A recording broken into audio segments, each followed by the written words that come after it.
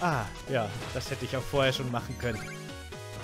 Ah, das Feuer, das habe ich überhaupt nicht gesehen. Puh, also diese blauen Flammen sind, da muss man echt, das ist, da muss man umdenken. Cool, cool. Angebot steht, cool, danke. Auf jeden Fall. Villa Unheimlich. Na dann, schauen wir mal in die Villa Unheimlich. Level oder NPC-Dorf, man weiß es immer nicht. Level. Okay, Geisterlaternen irgendwie. Ah, mit denen kann ich Geister töten. Oh, das ist schön. Diese nervigen Mistviecher. Das haben die jetzt davon. Was passiert denn, wenn man Geister tötet? Was passiert mit getöteten Geistern? Sind die dann wirklich endgültig aus der Existenz gelöscht? Also ich gehe davon aus, dass die mal lebende Menschen waren, die Geister, oder? Sonst wenn die schon als Geister geboren werden, dann sterben die halt einfach ganz normal. Aber ansonsten sind die wahrscheinlich dann wirklich ausgelöscht. Tja, ziemlich krass. Aber da kennt eben King Knight nix. Hier kann man ordentlich Kohle scheffeln mit den Geistern. Das ist cool. Kann ich hier nicht wegbouncen? Doch. Ah, Mist. Ja. Yeah.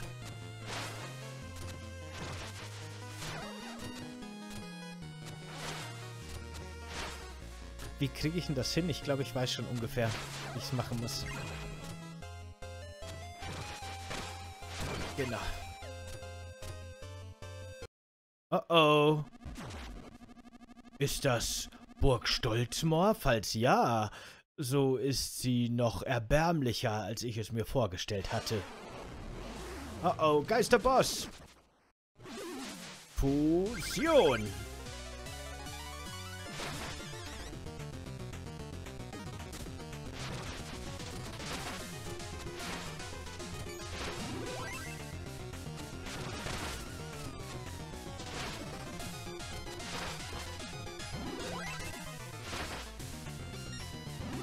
Ach, Mist. Du bist ein ganz schöner Arsch, Mann. Als ich am Anfang seine Lebensenergie gesehen habe, habe ich mir gedacht, oh, der wird ja leicht. Aber jetzt ist er ein ganz schöner Arsch. Damn it. Der Arschmann.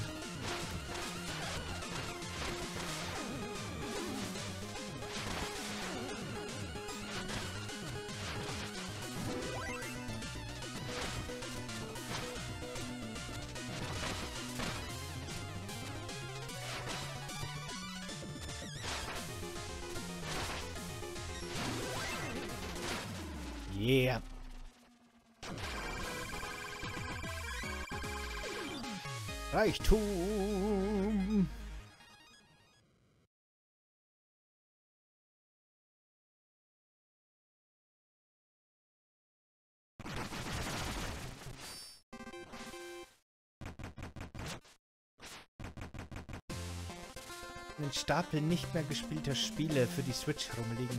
Minecraft Story. Minecraft Story?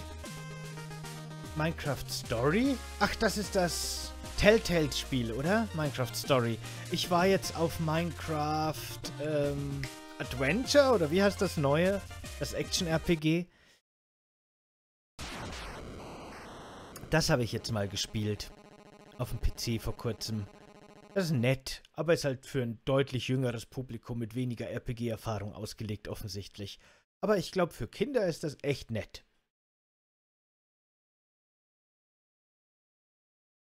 Tja. Ähm, Phantomschläger. Hallo, meine Falle hat einen weiteren Unhold gebannt. Äh, deinesgleichen wird auch immer dreister. Nein, warte, ich bin lebendig und kein Unhold. Der Duft der schwarzen Magie umgibt dich wie eine Aura des Todes. Ich habe keinen Fehler gemacht. Vielleicht ist das ja mein Tjost Glücksdeck. Sein früherer Besitzer sah dem Sensenmann ja wirklich sehr ähnlich. Doch wie konntest du das bei einem eigen, bei, bei deinem eigenen Pe Pestilenten, ach so, Pestilenten Eigengestank überhaupt riechen? Du bist doch derjenige, der hier nach Gespenstern stinkt. Lügen, Unverschämtheit. Meine Geduld hat nun ein Ende, elender Geist. Mach dich bereit, verbannt zu werden.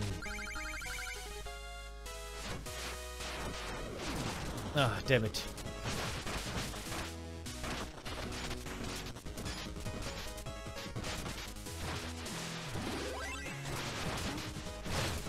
Yeah.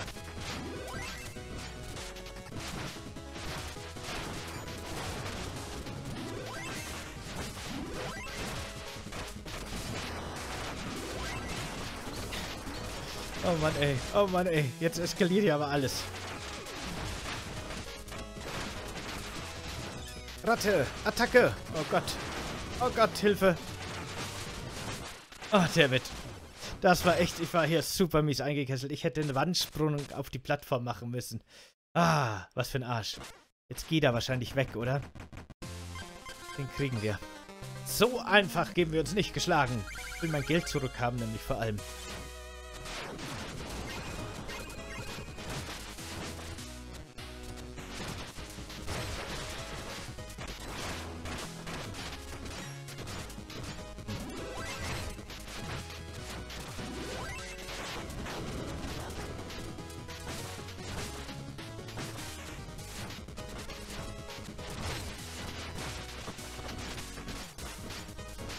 Ihn so. Ich hab den schon gern Hass. Den gibt's auch als Boss, wenn man wenn es mit, mit Shovel Knight spielt. Das Hauptspiel, wenn man so will. Und da habe ich den schon so gehasst, den Kerl.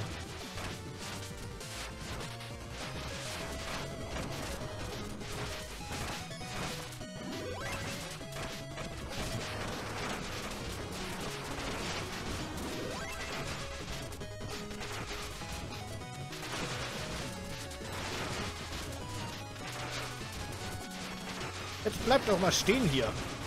Unglaublich. Na, also. Oh, Gott, ey. Minecraft Dungeon heißt das. Genau. Das war's. Das war's.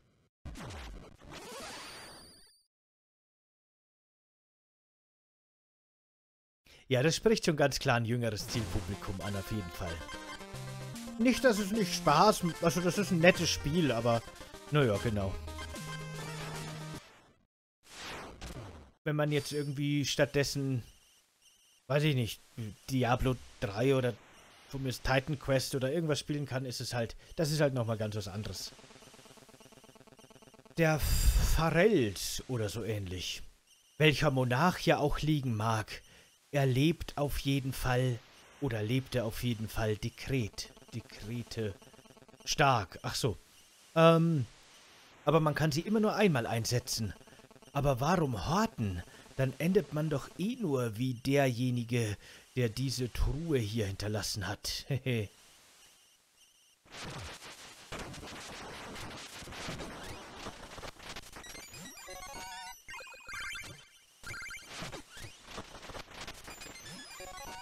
Oh, was haben wir denn da? Dekret der Verjüngung. Einweggegenstand beschwört einen freundlichen Apfelfisch, der 25 Sekunden lang deine Gesundheit und Vitalität auffüllt. Aha, für irgendeinen harten Boss mal oder so aufheben. Letzter Bosskampf. Vielleicht. Keine Ahnung. Mal schauen. Ja, das ist, das ist schon auch ein Problem. Ich meine, das Spiel kostet auch nur 20 Euro, glaube ich. Das ist kein Vollpreistitel. Aber ich war sehr schnell durch. Ich meine, es gibt dann höhere Schwierigkeitsstufen und so weiter, wie man das kennt. Aber ich war schon sehr schnell durch. Ein paar Stunden und dann ist das durchgespielt.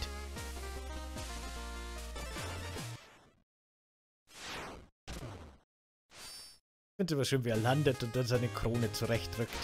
So macht man das. Fahnen sind quasi... Ich verstehe. Aber wie kann ich denn jetzt den Haufen hier? Ach so, ich verstehe. Moment, sind die Ratten jetzt meine Feinde? Ich dachte, Ratten sind meine Freunde.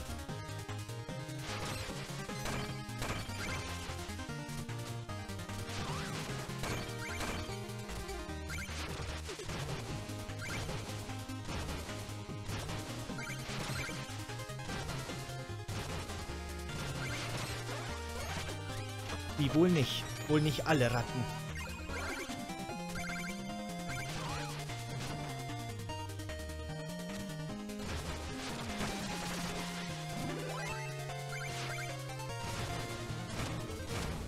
Aha, interessant.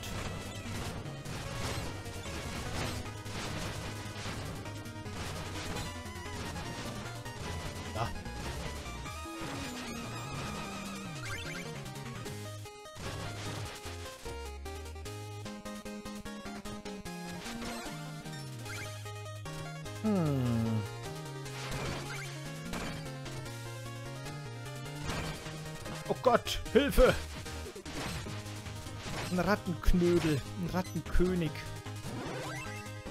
War das grad.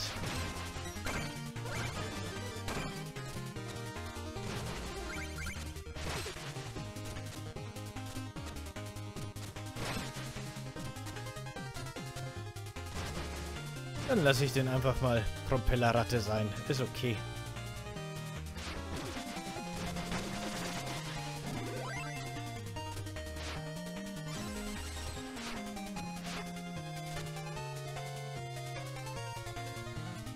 Okay, Könige Gendalang. Okay, von mir aus vertrauen wir dem Schild.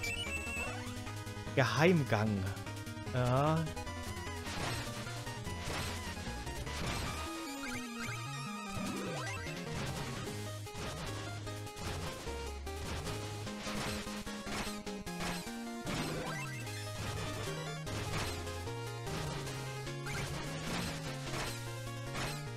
Wow, okay, das war... Puh, war das.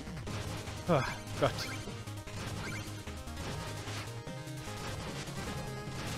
Nicht schon wieder. Hau ab jetzt. Ich hasse dich. Okay. Level geschafft, oder wie? War das der, der optionale Hardweg oder so?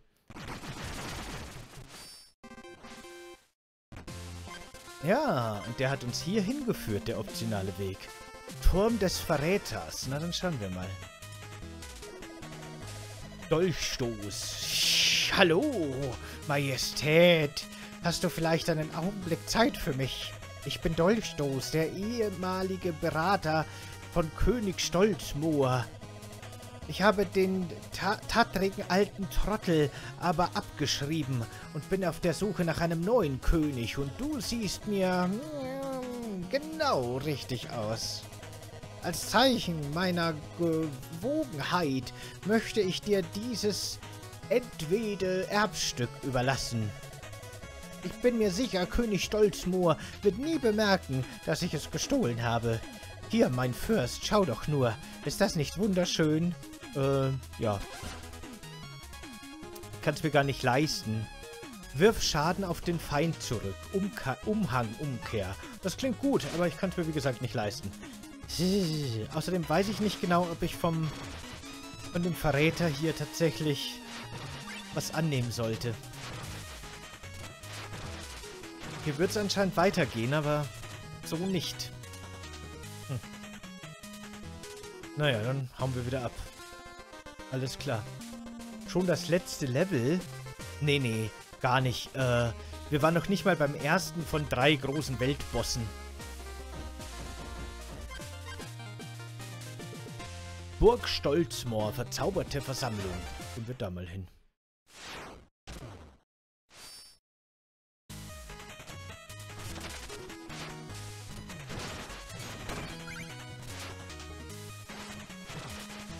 Oh, damit.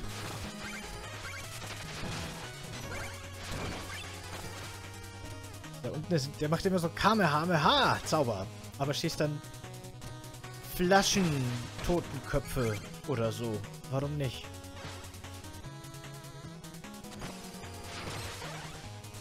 Huh, das war gerade... Oh mein Gott, das... Ah, zum Glück. Zum Glück sind wir gar nicht tot. Alles gut. Kann ich die... Ja, kann ich. Gut.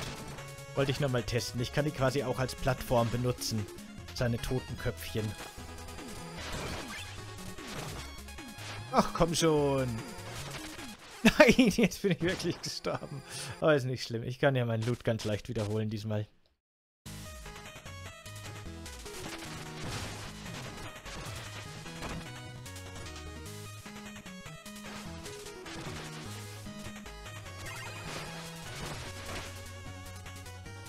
So, jetzt aber.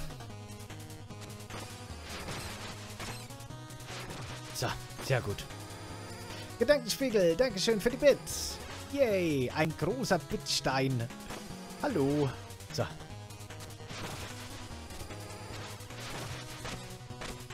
Ich weiß nicht, was es bringt, aber... Aha, okay, ein bisschen Loot hier, sonst nix. Ah doch, Geheimgang. Yeah. Geheimgänge sind immer schön. Oh, selbst wenn die Belohnung, die man da kriegt, teilweise gar nicht so toll ist, schon allein das Finden eines Geheimgangs ist manchmal schon Belohnung genug.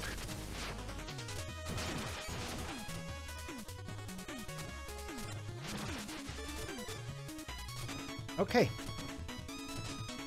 Eins von diesen Siegeln, mit denen man coole Fähigkeiten kaufen kann.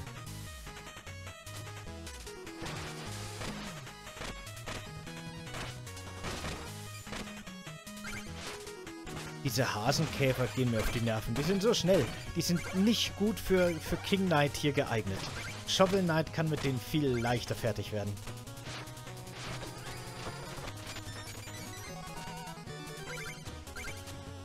Mach's gut, Hawkeye. Ciao. Bis zum nächsten Mal. Donnerstag ist eh schon wieder das nächste Mal.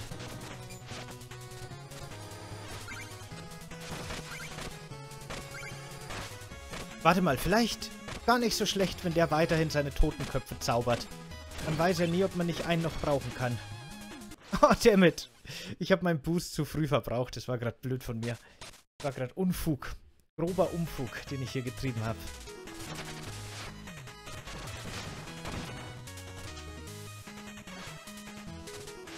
So, dann nochmal im Schnelldurchlauf.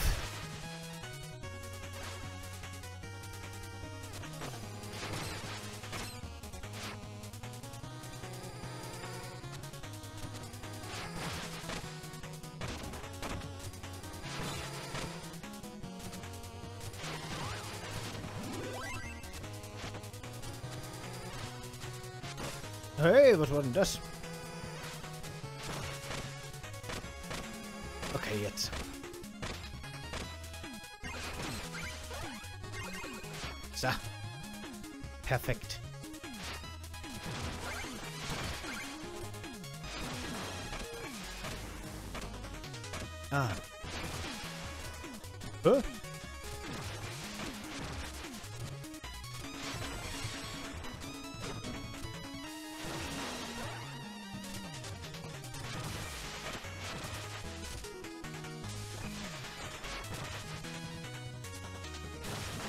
Das ist alles schon sehr Mega Man. Nur anders. Aber ich meine vom Levelaufbau her und von den Rätseln her und das ist schon sehr Mega Man. Nur eben nicht so oldschool, sondern ein bisschen fairer. Puh, shit. Und mit ganz anderen Movement-Möglichkeiten natürlich.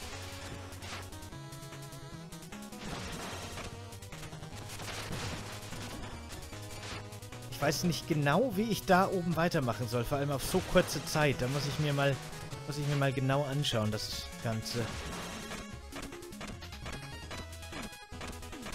Hm. Am besten locke ich den an, oder? Ja, aber jetzt habe ich es vermasselt. Bei hinten an der Wand, da kann ich mich nicht abstoßen. Und hier komme ich nicht so hoch. Gut, ich kann mal hier einfach stehen bleiben.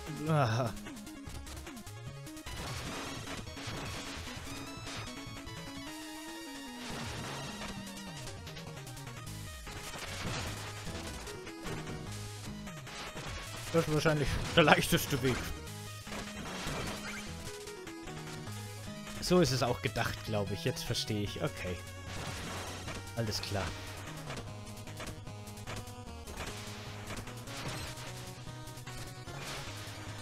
Dammit. Du blöder Ritter, du. Egal.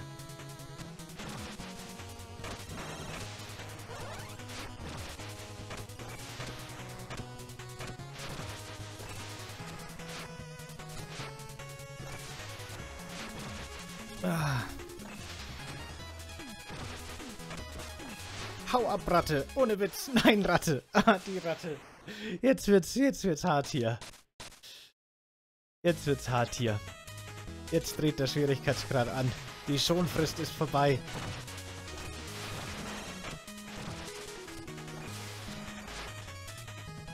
Jetzt sagt der Entwickler, okay, jetzt könntest du lang genug üben. Jetzt musst du aber mit der mit der Night King Mechanik vertraut sein hier.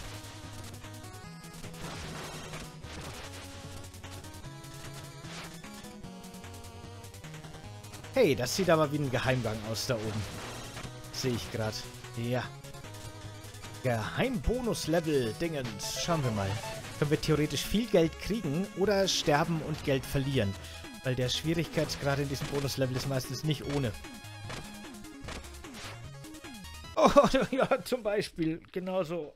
Ah. Ich will gar nicht mehr in die Bonuslevel. Ver vergesst das Geld. Es ist egal. Ups, das wollte ich gar nicht. Oder doch, ich gehe wieder ins Bonuslevel. Aber das Geld können wir trotzdem vergessen.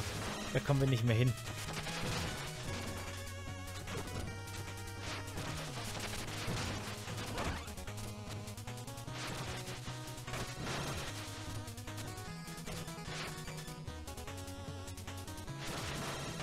Aber ich versuch's nochmal.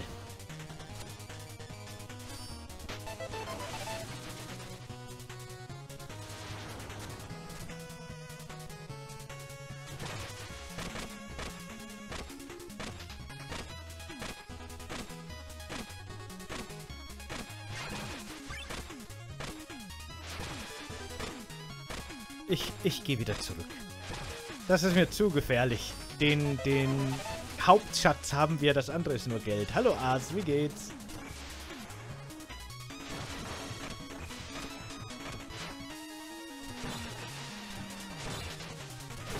Okay. Puh, jetzt wird's knifflig. Schauen wir mal, dass wir hier durchkommen.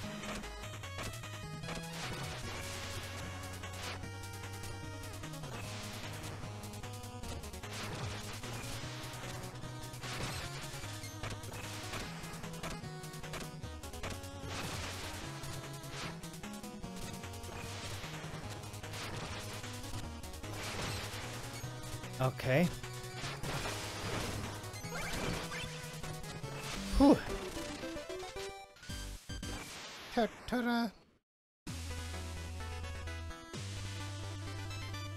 Ich glaube, ich habe auf dem Gameboy nie Mega Man gespielt, das weiß ich nicht, aber die NES-Teile, sehr stark wie die NES-Teile vor allem. Mutter, was machst du denn hier? Purzelchen, da bist du ja. Ich habe mir eines deiner kleinen Rattenseile gegriffen und plötzlich war ich hier oben. Deine liebe Mutter hat uns alles über die zahlreichen Tugenden von König Stolzmoor erzählt. Ich liebe König Stolzmoor. Ich habe im Königskurier gelesen, dass er sich immer an die Regeln hält. Mama, psst, du weißt doch, dass du mich im Einsatz nicht stören sollst. Halt dich da raus. Ohne Regeln kann man nicht herrschen. Vielleicht könnten uns ja die Weisheiten deiner Mutter bei unserem Unterfangen helfen.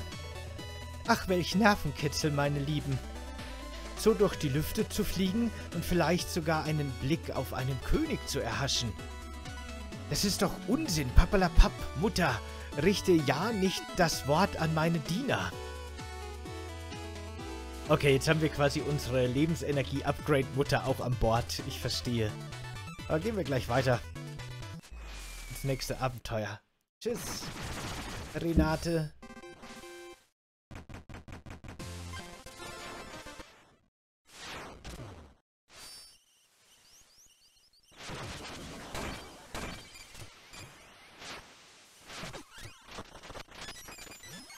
Oh, eine Karte. Rätselkarte Stufe 1. Ach so, nur den haben wir schon. Na, trotzdem. Ich habe eh vergessen, den Greifen hinzuzufügen. Und den nehmen wir auch lieber als irgend so ein Schleim hier. Ja.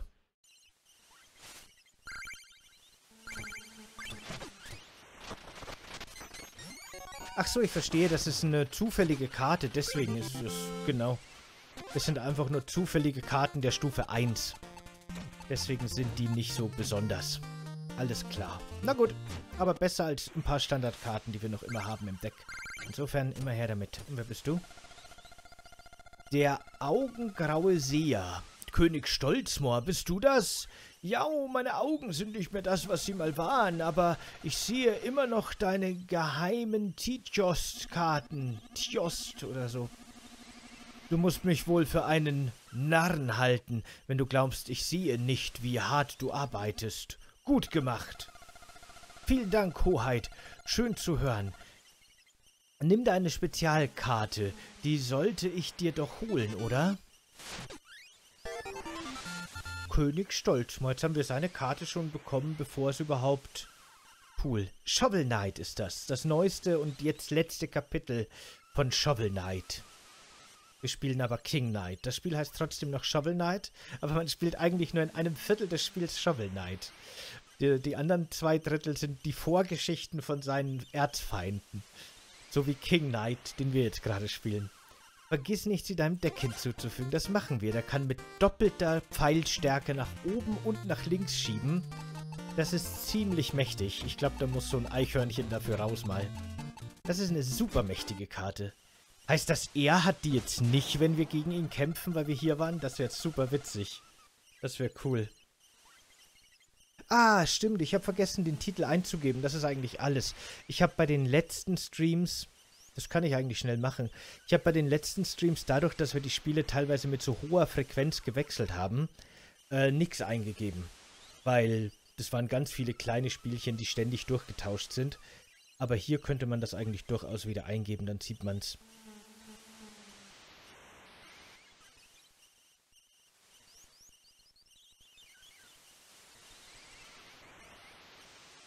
Warte mal, vielleicht gibt es nämlich auch gleich das Kapitel, das wir spielen, extra.